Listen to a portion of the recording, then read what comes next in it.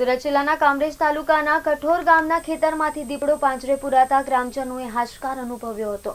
થોડા દિવસ પહેલા જ કામરેજ હાઈવે રોડ પર વાહન અડફેટે બે દીપડાઓના મોત નિપજતા પંથકમાં દીપડાઓની હાજરી હોવાનું બહાર આવતા વન વિભાગ દ્વારા કામરેજ કલુડી રોડના ખેતરમાં પાંજરું ગોઠવવામાં આવ્યું હતું. આ પાંજરામાં દીપડો આબાદ સપડાઈ જતા ગ્રામજનોએ હાશકારો અનુભવ્યો હતો.